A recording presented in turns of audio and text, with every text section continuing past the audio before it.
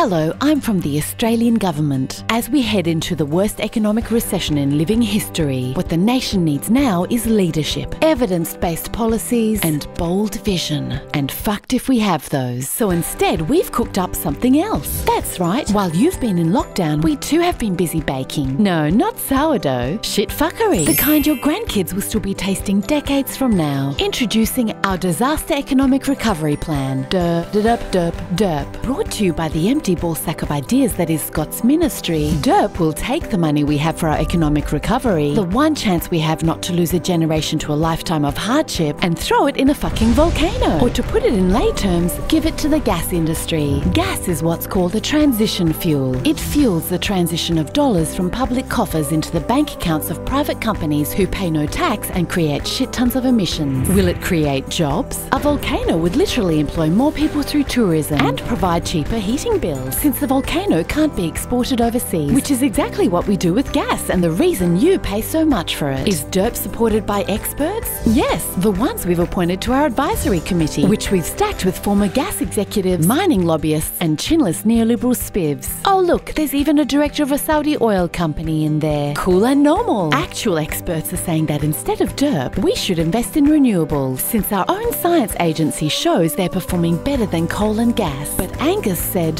evidence. Let's invest your money in bullshit solutions like carbon capture, which no credible study says will ever work, but which gives his mates a boner because it lets them keep polluting and making the ching ching. Fantastic, great move. Well done, Angus. Others are saying we should look to history for answers. Remember that time the US government ended the Great Depression by spending massively on a strong social safety net and employing people to build shit tons of stuff? Bridges, roads, hospitals? If only there were an urgent need today for a similar nation building project such as decarbonising our economy, which would bring back to our shores high tech manufacturing jobs, employ millions, and at the same time ensure a living planet for our children. Nope, can't think of one. Besides, we can't afford all that. Well, we could pay for it with the money Josh found behind the couch last week after realizing he underestimated JobKeeper by $60 billion. Whoops. And there'd still be enough left over to bail out all those who missed out and not cut Newstart back to poverty levels. But why do all that when we can subsidize an industry that manufactures fuck all, apart from holes in the ground and continent scale bushfires? In order to feed you this turd sandwich, we'll be moving things along fast to try and overwhelm you with shit fuckery. Oh look, we just approved a new coal mine while you couldn't protest. Cause the last thing we want is for you to have time to realise how important this moment of history is, how consequential our choices are at this crucial juncture, and come together to stop us from wasting it.